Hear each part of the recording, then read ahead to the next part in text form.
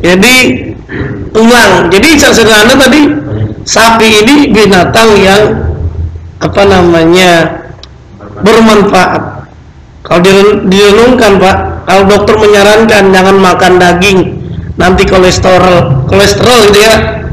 Ternyata ada yang bilang siapa bilang makan daging kolesterol?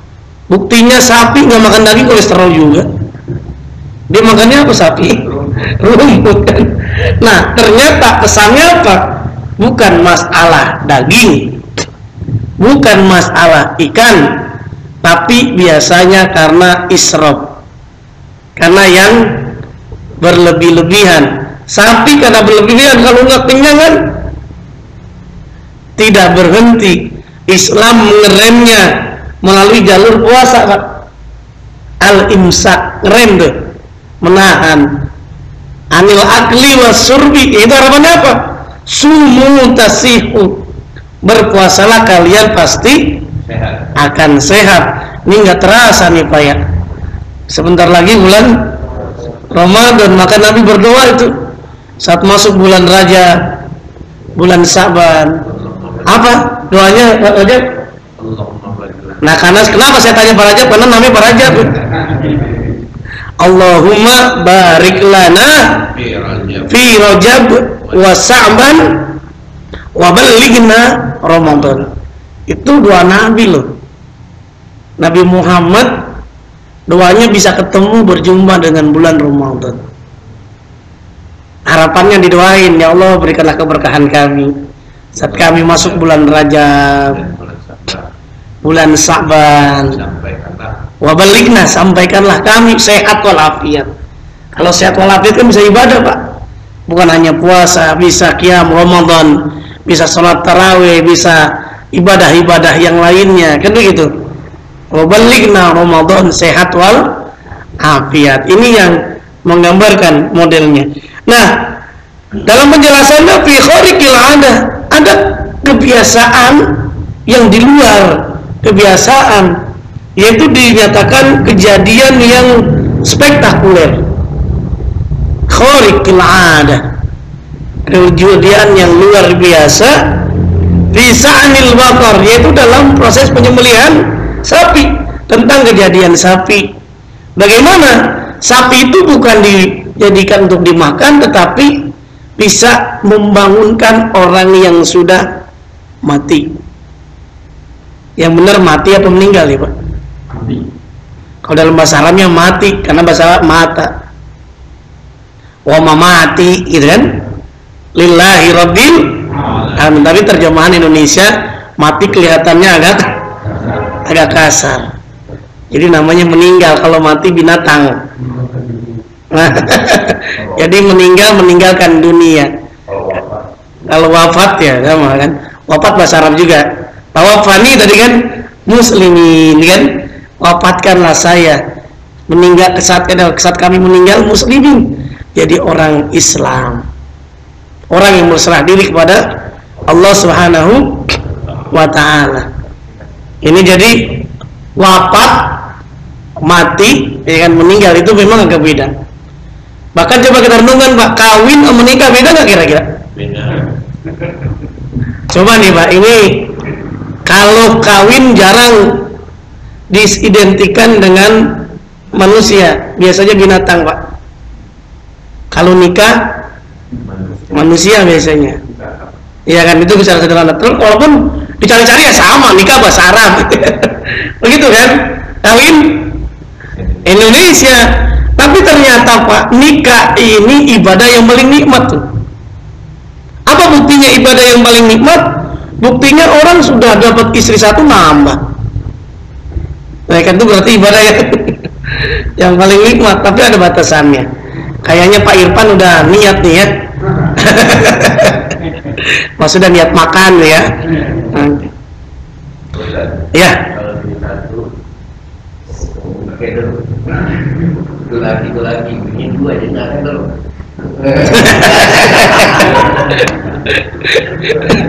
jadi kayaknya udah lihai bener ya Pak Denny Ini banyak ilmunya gitu kan.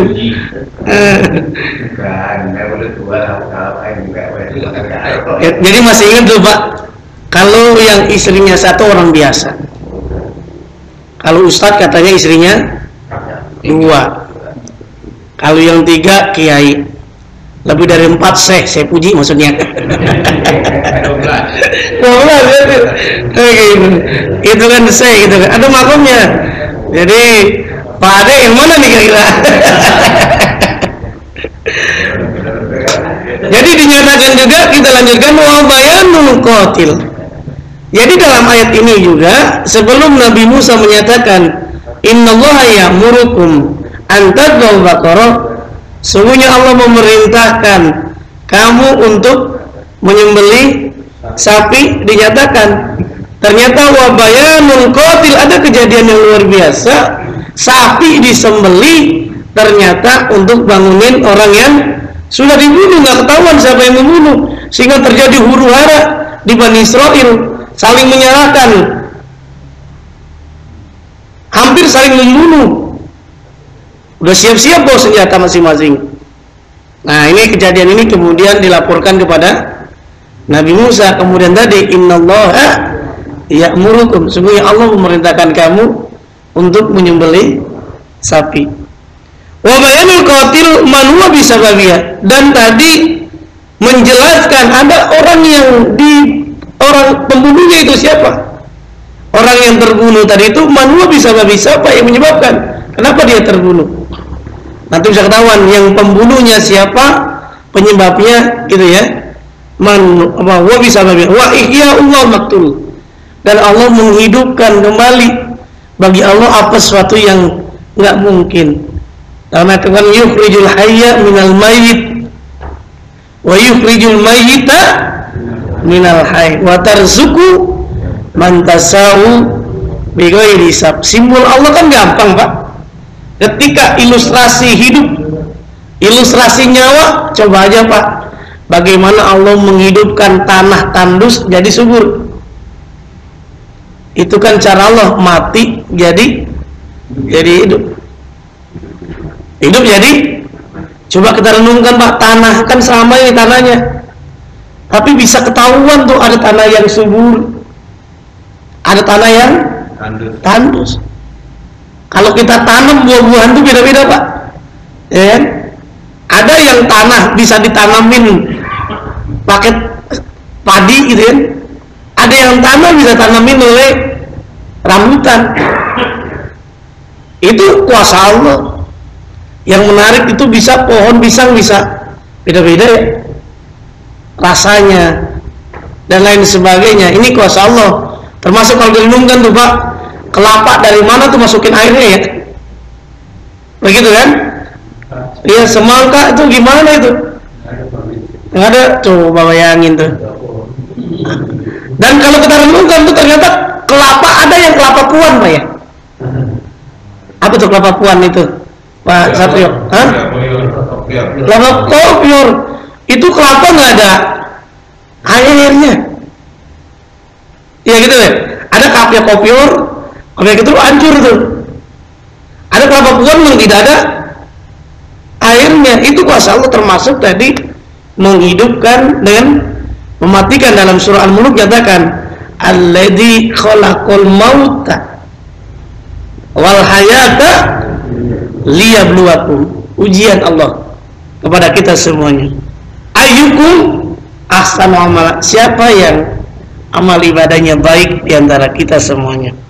Jadi dinyatakan wa ihyaul maktul Allah menghidupkan orang yang sudah di sudah bunuh yang sudah terbunuh itu yang sudah mati yang orang kaya yang nggak punya apa namanya keturunan bahkan dalam hadis Nabi pun dinyatakan orang yang membunuh tidak mendapatkan warisan. Kejadiannya bukan hanya zaman Nabi saja.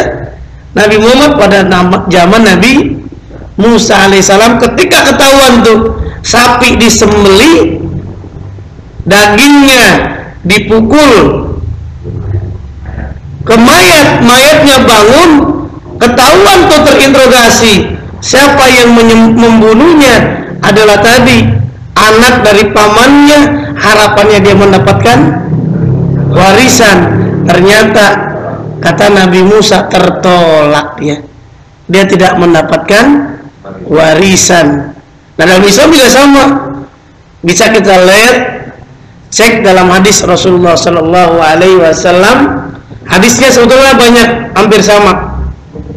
Orang yang membunuh tidak mendapatkan warisan tapi yang saya kutip pada kesempatan kali ini hadis yang diriwayatkan oleh Imam An-Nasai. Melalui jalur sanad Amr bin Su'aib an abihi an jaddihi.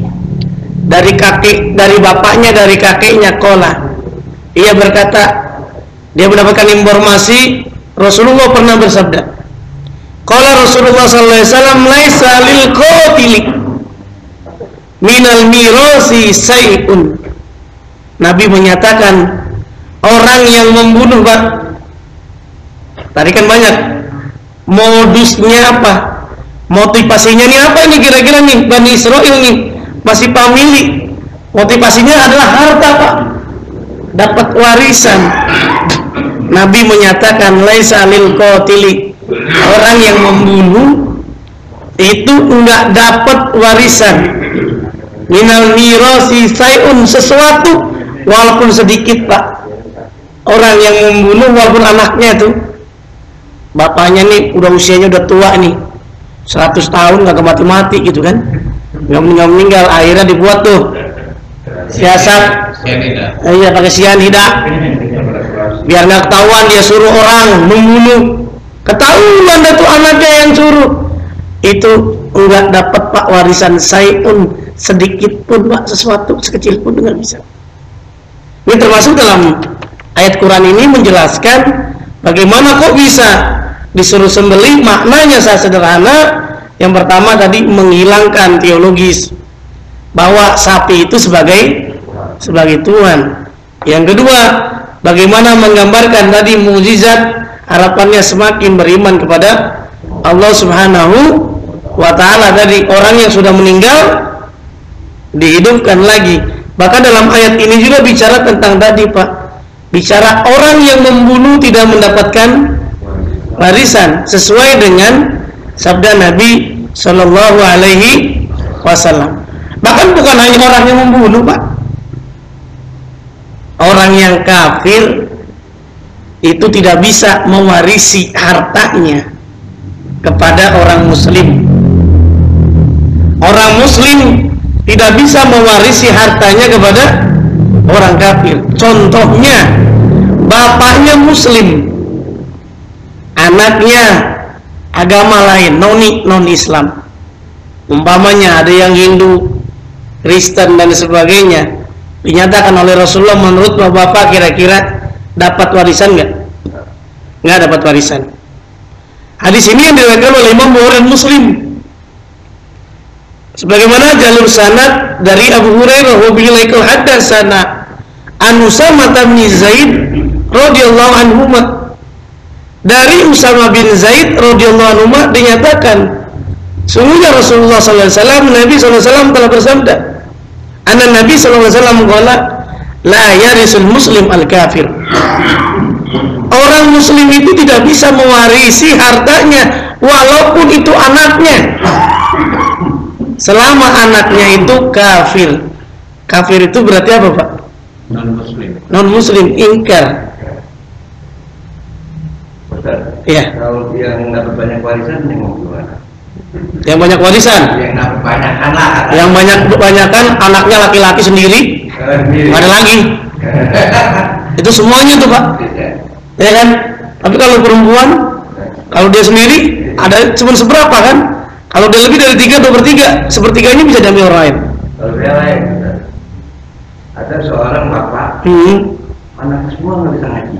Hmm.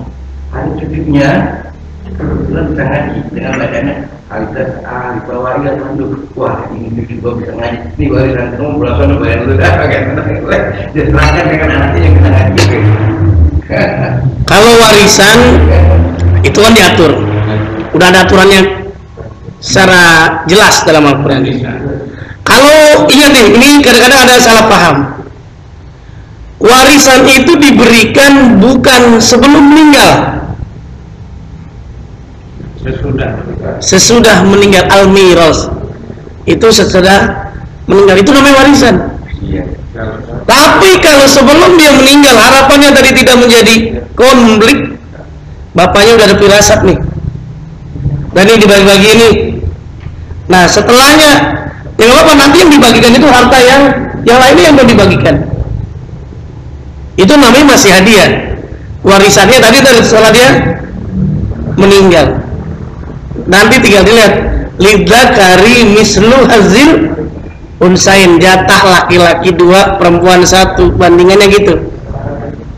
Misalkan laki-laki dapat 10 perempuan dapatnya 5 dapat 5 nah ini cara sederhana menggambarkan. Begitu kira-kira. Bahkan ada pertanyaan Pak Ustadz yang mana yang benar nih? Kalau laki-laki pengennya Al-Quran Pak. Iya kan kan berantem tuh gitu.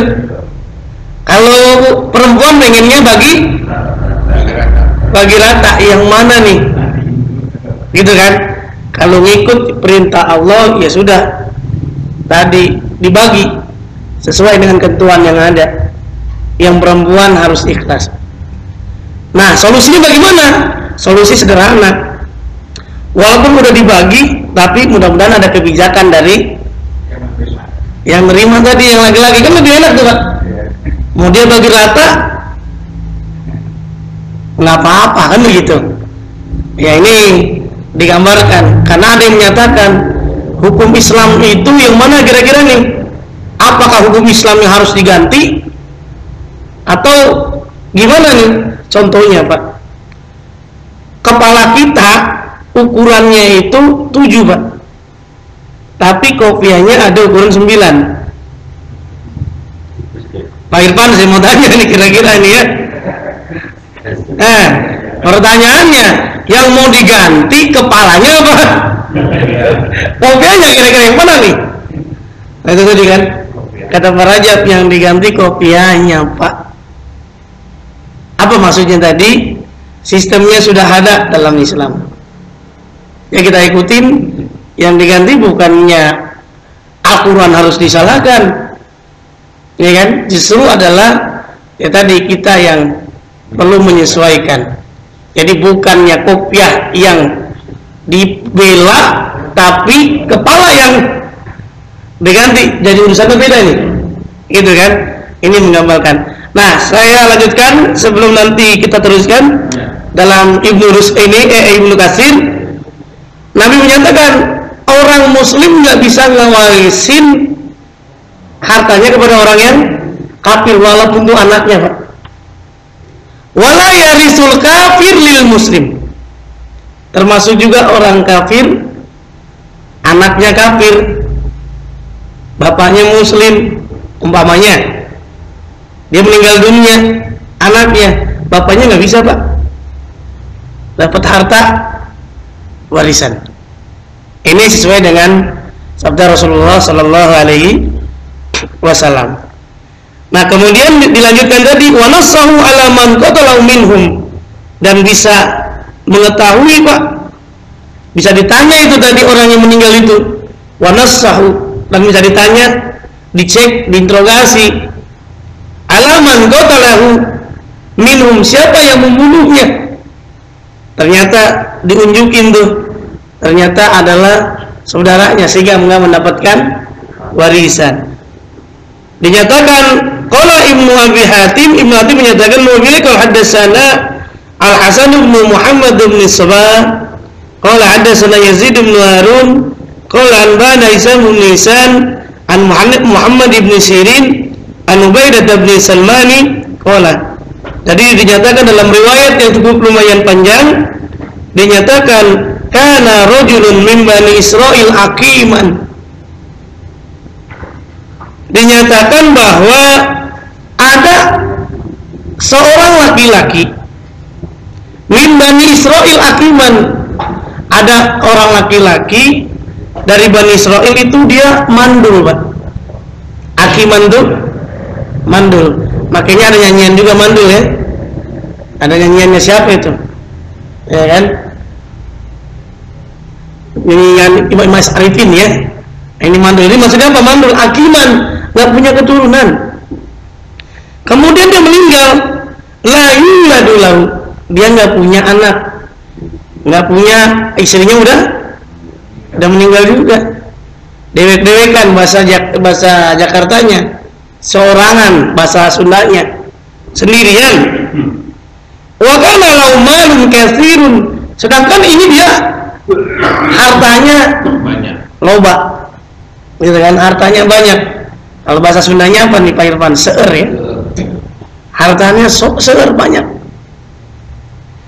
Wa kana ibu ahihi warisan justru yang dicek yang bisa mewarisi itu anak saudaranya. Jadi pas anak saudaranya itu keponakannya sepupu lah ya jadi ada juga bilang anak pamannya gitu kan anak saudaranya.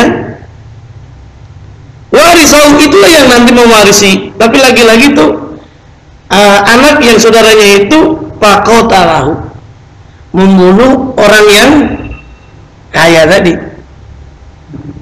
Modusnya ketika dibunuh biar nggak kelihatan diapain? Iya bukan di dibuang pak. Dikubur dia kan tetapi dibuangnya di depan rumah orang digeletakin itu pak. Kira-kira rame gitu kalau wah ini jenazah siapa ini? Kan begitu. Maka kalau summa ihtamala ulailan ketika udah dibunuh malam-malam dibawa tuh mayat itu. Bahwa tahu babi rojulin minhum.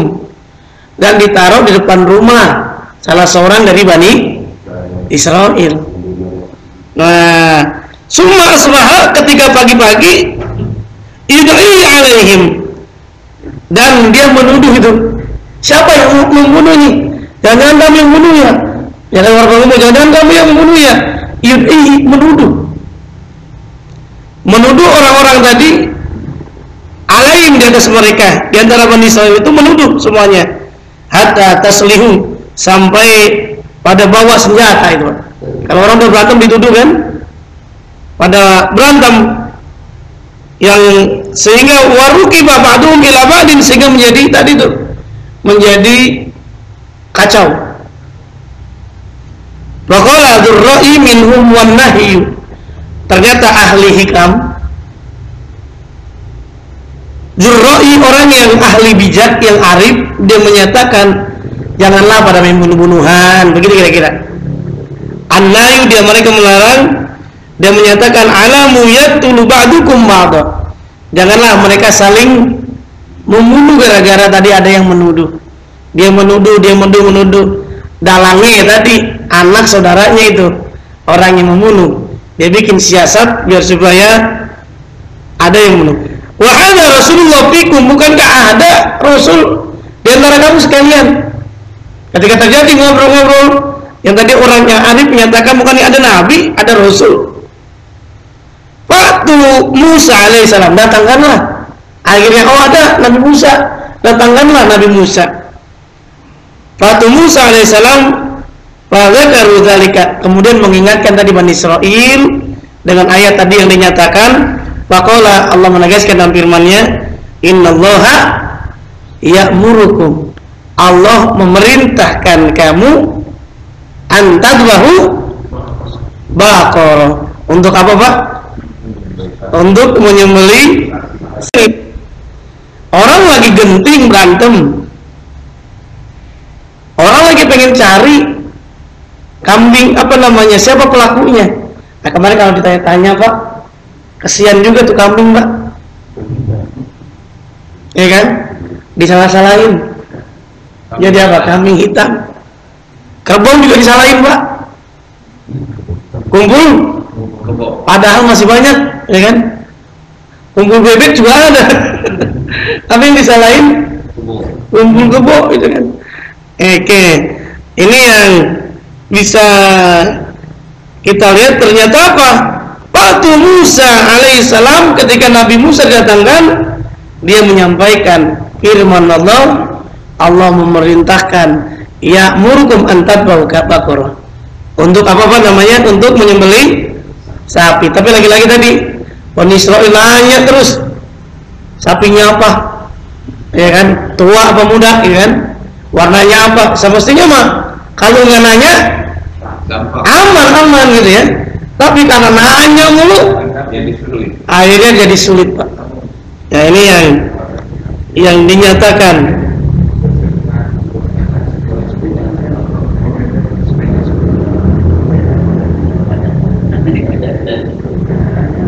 Nah ternyata ketika dicari-cari pak ciri-cirinya sapi yang kuning karena nanya terus dinyatakan bahwa jaduha. Ternyata Bani Israel dapat. Indah rojulin ada seorang laki-laki yang memiliki sapi betina lau bakaro yang kuning warnanya. Pakola wallahi la an kuswa min mali min mal'i jildiha zahaban. Tapi lagi-lagi ini Pak, sapi yang dimilikinya nggak mau dijual. Ini kan repot nih. Disuruh bunuh ya kan? Disuruh sembeli sapi. Sapinya nggak mau di tapi dia maunya apa? Saya jual boleh. Tapi dia pengen minimal ijil dia zahaban itu kalau bisa emas satu kulit itu semuanya emas berarti bahasa sederhananya menggambarkan dijualnya mahal. Karena jual mahal patungan betul ya kan? Barulah kemudian disembelih. Ketika disembelih bagaimana? Ternyata tadi dipukulkan kepada orang yang meninggal. Kemudian dia tunjukkan sebagaimana dinyatakan fahadzuha bimalli jildiha zaban kemudian tadi diambillah tadi emas untuk dibayar kepada anak muda tersebut pada bahuha kemudian sapi itu disembelih. Pada rabuba bibadiha kemudian ketika disembelih tadi potongan-potongan dagingnya dalam daging sapi itu pada rabuha dipukul kepada yang orang yang meninggal tadi yang nggak ketahuan siapa nih pelakunya. Pakoma Kemudian dia bangun pak. Udah kalau orang pernah kan ada kejadian pak, ada yang namanya mati suri pak. Pernah nggak pak adik? Ngalamin ada mati suri. Udah dimandiin, ya kan? Udah dipakein. Eh tiba-tiba bangun. Gini-gini Pak Zul, Pak Zul kabur. itu namanya mati suri. Ya kan mati suri itu ternyata masih diberikan hidup lagi yang kedua pak. Peluangnya. Dia udah meninggal. Secara kasat mata. Dunia kedokteran itu udah ini kan? Napasnya sudah ada jantungnya sudah tidak berfungsi tapi hidup lagi. Tapi kalau ini gimana? Untuk mengetahui tadi itu pak koma ketika dipukul orang yang meninggal bangun dia tuh. Ditanya Pak Kolu, Bani Israel nanya tuh, Man kotalaka? Siapa yang membunuh kamu? Pakola hada. Yang membunuhnya ditunjukin tuh. Hada ini dia orangnya. Nah barulah ketahuan uh, li ibni akhi yaitu anak saudara saudaranya dari itu. Yang semestinya dialah yang berhak mendapatkan warisan. Summa mala maitan ketika tadi jenazah orang yang mati dipukul hidup setelah bilang ini dia orangnya kemudian mati lagi pak. Malah kemudian tadi apa namanya maitan itu langsung terbu terbujur langsung jatuh langsung meninggal lagi. Malam yuti min malihi sayan ternyata orang yang membunuh itu tidak diberi itu nggak dapat? Warisan. Min mali sayan dari harta tadi orang yang dibunuhnya saudaranya sayan sedikit pun dalam menyatakan palam yurisu qatil. Ba'da. Sehingga dalam riwayat ini dinyatakan orang yang membunuh sejak zaman Nabi Musa sampai sekarang orang yang membunuh tidak mendapatkan warisan. Wallahu alam bahkan dinyatakan juga Innallaha ya'murukum itu dinyatakan karena rajulun min bani Israel yang tadi kaya raya raya. Bahkan dinyatakan innallaha ya'murukum itu karena ingin mengetahui pas alman kotala yaitu agar mengetahui siapa yang yang membunuhnya itu dalam tafsir dalam Ibnu Katsir. Semoga ada manfaatnya buat kita semua kalau ada pertanyaan dipersilakan. Hibah dengan warisan apa bedanya? Oke baik. Hibah dengan warisan. Bedanya dari tulisannya itu beda. Artinya kalau beliau kan iya. Ya dari tulisannya itu beda ya artinya kalau hibah itu bermakna adalah hadiah. Hadiah. Contohnya Pak Ade ada rezeki memberikan hadiah kepada Pak Ajis. Mobil Alphard itu hibah. Atau tidak dalam bentuk banyak besar kan? Hibah yang ada. Saya dapat hibah alhamdulillah dari mana gitu kan? Itu hibah hadiah yang tak lain tak bukan niatnya tadi hibah kan itu bisa bermakna tadi hibah kita berikan. Bisa bermakna juga sodako hibah itu. Bagian sedekah kalau niatnya karena karena Allah hibah itu. Tapi kalau warisan itu berkaitan harus ada yang meninggal. Dinyatakan malu ter harta yang ditinggalkan itulah yang namanya tadi bicara tentang warisan begitu kira-kira. Ada orang yang meninggal dunia nah hartanya apa yang ada? Yang itu dia. Kalau nggak ada kan nggak usah dibagikan. Islam itu menggambarkan gitu ya. Meninggalkan utang meninggalkan utang ya kafir kok. Saudaranya yang harus menanggung warisannya. Ya kan? Karena kenapa? Nabi tidak menyolati orang yang masih punya utang kecuali ada yang menanggung ya kan saudaranya yang menanggung. Kalau enak banyak tagihannya. Kalau utang banyak. Begitu ya. Allah alam tadi ada parajat ya. Tadi belum selesai. Jadi orang tadi ditunjukkan ini pembunuhnya. Hmm. apa cuma sekedar dapat warisan? Apa Iya. ada hukumannya kepada dia? Itu kan belum dilanjutkan. Ya baik. Yang kedua ini kan masih bicara tentang hewan binatang hmm. kita melihat sekarang ada yang salah kaprah orang itu. Jadi sekarang kan musim pelihara anjing. Itu bukan hanya orang Nasrani yang pelihara anjing. Orang Islam pun ikut ikutan Hmm. malah gendong-gendong anjing. Nah ini kan bagaimana statusnya. Padahal sudah tahu anjing itu najis. Tapi ada juga orang mengatakan najis itu kalau basah dengan kering. Misalnya dia menjilat. Hmm. kalau kering sama kering itu tidak najis. Ya, ya. Jadi. Jadi yang orang membunuh tadi apa selesai sampai cuma ada dapat warisan atau ada hukum ada hukum kisos misalnya masih. Iya baik. Ini makanya ada kelanjutannya gitu ya Pak ya. Tapi karena waktunya gitu ya. Tapi kalau dalam riwayat yang tadi saya bacakan itu cuma penjelasannya dari jalur sanatnya Ibnu Jarir dari Ayub Muhammad bin Sirin itu menyatakan menegaskan bahwa kisah tentang penafsiran ayat surah Al-Baqarah ayat 67 cuma menggambarkan saja bahwa orang yang membunuh itu ketahuan. Nah, hukumannya di antaranya tadi berarti hukumannya semestinya dia dapat warisan tidak mendapatkan warisan. Nah, bagaimana kemudian berikutnya nanti coba akan coba kita ulas. Ayat Ada ayat berikutnya. mengenai kisah. Nah, tentang kisah dan sebagainya. Iya, baik. Itu yang pertama.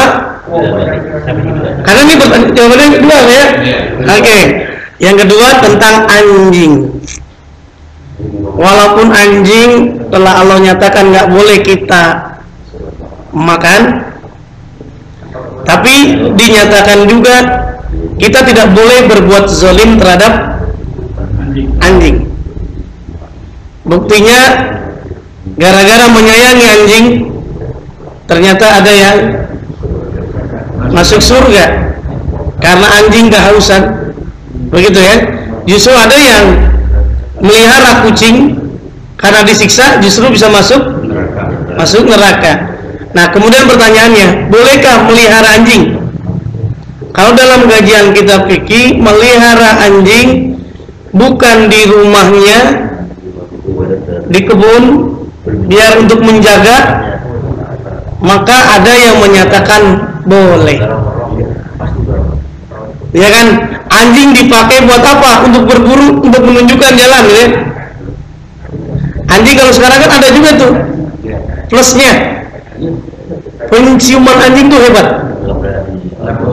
ya kan narkoba Allah berikan khusus tuh pada anjing walaupun satu sisi tidak boleh makan dengan anjing tapi ada kelebihan dari anjing. Dari daya ciumnya itu yang melebihi manusia. Nah jadi gampangnya bagaimana kalau melihara anjing dalam rumah umumnya ulama tidak membolehkan. Karena khawatir banyak barang-barang baju kita kena najis. kena najis. Apalagi gendong-gendong kena liur dan lain sebagainya walaupun lagi-lagi tadi tuh Pak ada yang menyatakan boleh najis-najis tapi umumnya menyatakan tidak boleh kita melihara anjing dalam dalam rumah walaupun ada manfaatnya aja anjing buat jaga dan seterusnya tapi biasanya berbeda begitu ya tidak dibawa-bawa dan sebagainya. Oke, ada lagi? Oh ya. Pak Taufik ke Pak Haji dulu nih. Oh iya. Iya gimana ini Pak Jis? Ah, silakan tadi kan udah. Ini kan kultur nih kan dia. Masih ada. Anak tadi udah udah ngangkat dulu tadi ya. Sebelum masuk sebelum ke sini ya ke betul ke masjid menonton ini itu ada ceramah dari Pak Ustaz, Dokter, Dr. Nasrul, apa Nasrullah, Nasrullah, Nasrullah, Nasrullah, mengenai pengertian dari Bismillahirrahmanirrahim. Beliau mengatakan ini ada Rahman dan Rahim. Rahman artinya kasih pada mengasihi, Allah mengasihi pada Rahim itu kalau orang sudah dikasih, kemudian dia merapat mendapat barakat dunia akhirat. Cuma cukup kecil ya. Tapi saya pernah baca dalam satu buku singkat karena Dr. Aam Amiruddin, hmm. Rahman itu adalah bagi semua bagi semua makhluk oleh Allah. Sedangkan Rahim hanya untuk Muslim. Iya. Nah, ini kenapa beliau tidak tegas menekan gitu? Itu dalam tafsir sudah jelas kayak gitu, Pak. Dalam tafsir mana? Dalam tafsir tadi yang dinyatakan Bapak. Kalau Rahman secara rahmatan lil ya. alamin tapi kalau rahim khususnya adalah muslim muslim iya muslim dokter Nasrullah tidak ada konsekuen ya yang jelas dia menyatakan untuk muslim nih hanya untuk muslim berarti berarti dia bisa menyatakan untuk yang muslim juga bisa rahim Hmm. Itu mungkin maknanya secara umum, tapi kalau dalam tafsir-tafsir, ya, ya. Yang, saya hmm. dokter, ya, jadi gitu. jadi pengertian kan ada juga yang dijelaskan ada secara harfiahnya gitu ya ada yang dimaksudnya al-murad ditafsiri dengan tafsirnya itu seperti apa nah kalau pengertian dalam tafsirnya mereka juga karena dia ini seorang pluralisme semua agama sama benar maka dia tidak berani menyatakan bahwa bahwa rahim itu adalah anak itu Islam gitu. Hmm. Nah, karena dia menurut dia ngerti dia lain itu juga tuh sebagai orang yang berapa lain gitu. Ini dari tadi. Ya, ya. ya baik. Tadi Pak Taufik begitu kira-kira ya. Tadi sudah ada jawabannya. Oke. Okay. Saya masih Pak Adi. Pak Adi tadi bicara mengenai kita. Akibat itu kalau kita punya harta apa ada maksimal nggak? Iya. Oke baik. Hibah dalam kajian itu tidak ada maksimal dan tidak ada minimalis.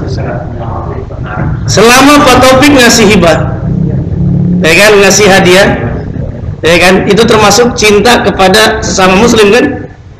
La yu'minu ahadukum hatta yuhibba ma ya kan? Sebagaimana dia mencintai dirinya sendiri. Nah termasuk tadi dalam kajian hibah tadi. Hibah kita berikan. Oh contohnya kita ada nih di rumah. Dibanding baju kita tidak terpakai yang masih bagus kita lihat ada pemulung bajunya tidak bagus. Kita hibahkan boleh itu. Atau baju yang baru boleh yang bekas juga boleh gitu. Tapi kalau gini yang pernah pada waktu itu Abu Bakar menyalurkan tiga hartanya untuk peperangan tapi oleh Rasulullah tidak diperbolehkan akhirnya bagaimana kalau setengah ya Rasulullah jangan bertinggal ya itu ya Hmm. Nah, apakah itu menjadi patokan atau bagaimana?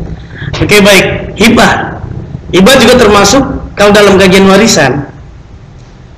Kalau ada orang tidak punya anak, kemudian memungut ya, anak pungut bacanya apa namanya ya? Anak asuh, anak angkat.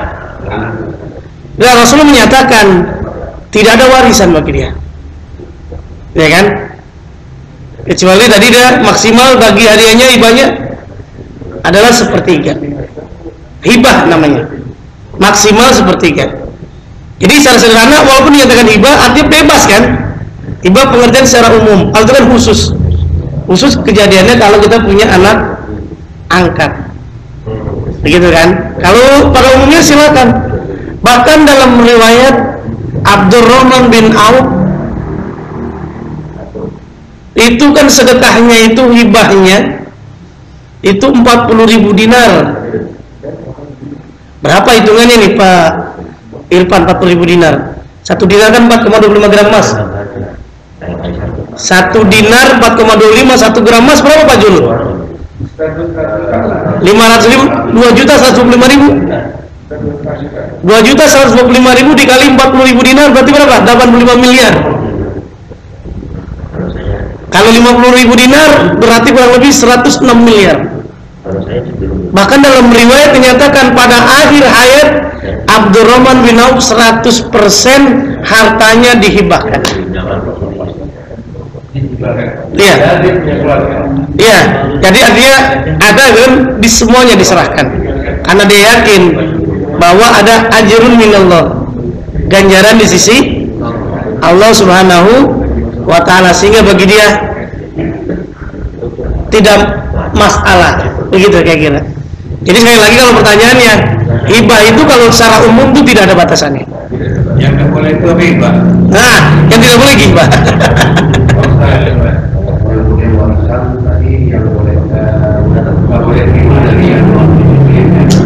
kalau hibah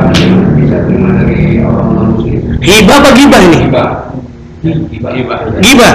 Kalau gibah kan kita suuzon. Hibah oh gibah. Ini tadi. Nah gitu. Ah gitu ya. Oke kalau hibah nggak masalah sedekah juga nggak masalah. Yang tidak boleh zakat. Zakat itu tidak boleh ada ulama menyatakan umumnya zakat tidak boleh untuk non muslim karena yang dibolehkan adalah delapan mustahik. Ya kan? Dalam surah At-Taubah ayat 60 innamas shadaqatu lil fuqara itu dan seterusnya itu bahkan ada hadis Nabi menyatakan zakat itu dipungut di antara orang Islam saja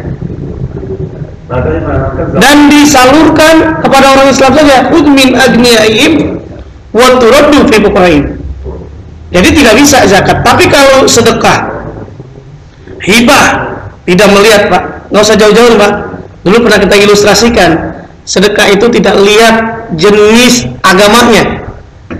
Ada orang kecelakaan Pak Jul ada orang kecelakaan.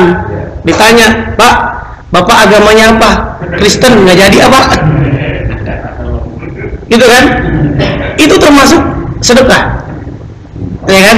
Hibah. Hibah kita berikan jasa pertolongan. Hibah itu bisa juga dalam bentuk materi. Bisa hibah juga dalam bentuk bantuan. Tapi umumnya hibah itu dalam bentuk materi. Tapi kalau sedekah atau sedekah atau sodako tidak harus dalam bentuk materi. Senyum bantu. Paling murah sedekah iya begitu kan. Termasuk berhubungan mohon maaf nih berhubungan suami istri bukan hanya malam Jumat aja pak. Itu dikategorikan sedekah. Nanti gampang pas pulang. Mah kita sedekah yuk gitu.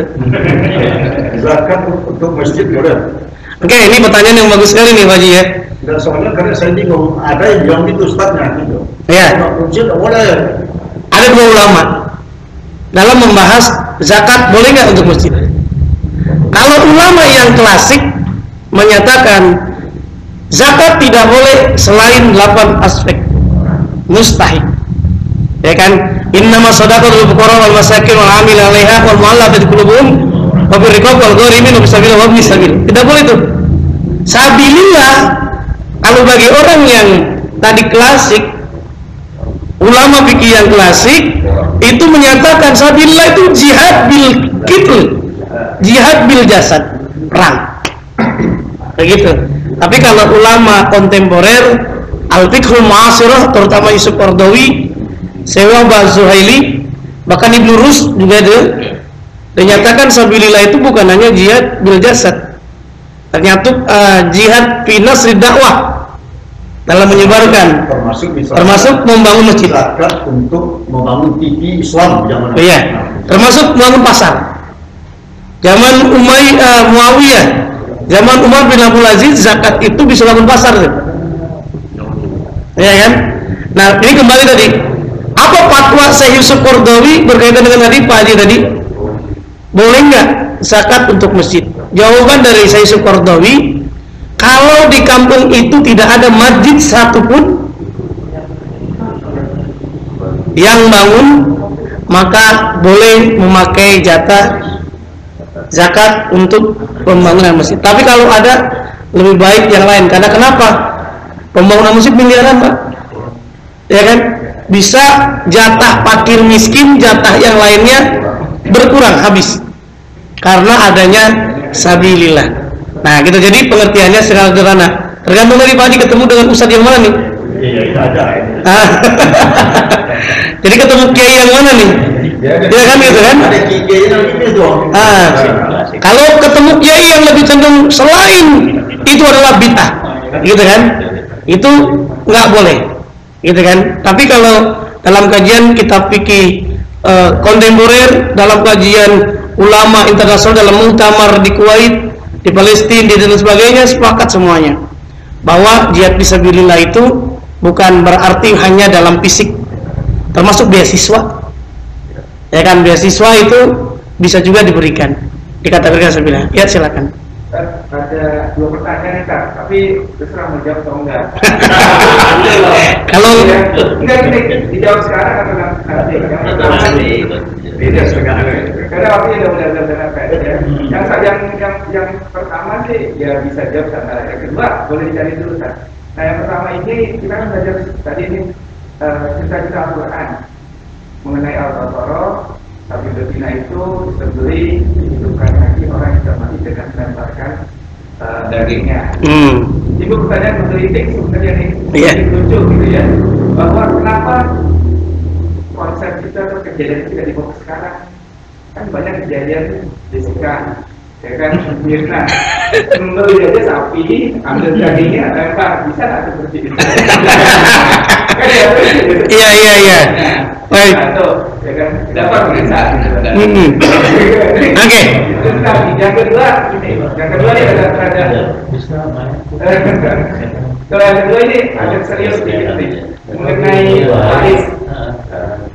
Eh, apakah ada ya waris ini dalam eh, dalam sejarah kenabian Rasulullah itu bahwa eh, dalam menentukan waris itu difatwakan oleh seorang alim ulama ataupun yang dianggap eh, mengetahui hakim lah ya? Dengan adanya fatwa waris itu.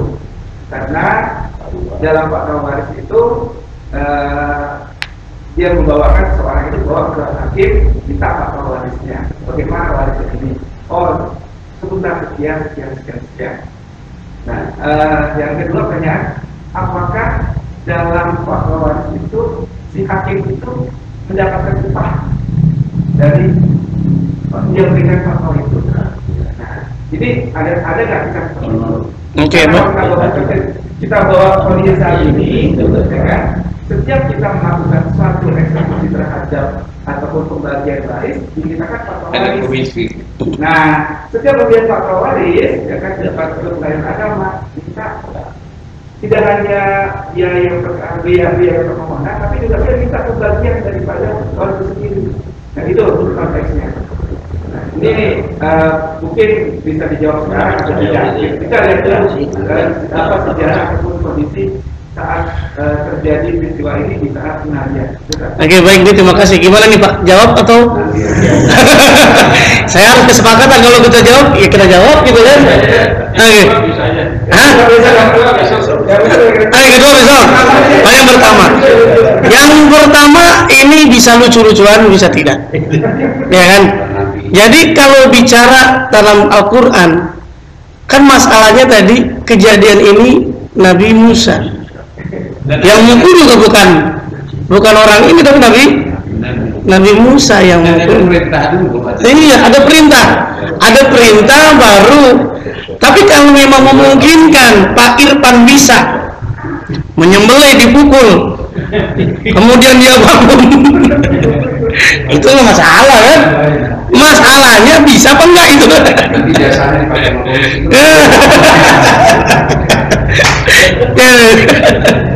Jadi begitu Irfan ya.